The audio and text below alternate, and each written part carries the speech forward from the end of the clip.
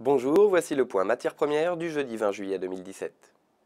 Les cours du pétrole US brut léger ont fortement progressé hier avec la publication des stocks. En revanche, le pétrole n'a pas réussi à dépasser l'ancien plus haut récent à 47,3 et pourrait revenir sur le retracement de Fibonacci de 50% à 45,78. Le franchissement devrait ramener le baril sur les 45 dollars. Retrouvez-nous dès 11h pour le Market Live et dès demain pour d'autres analyses.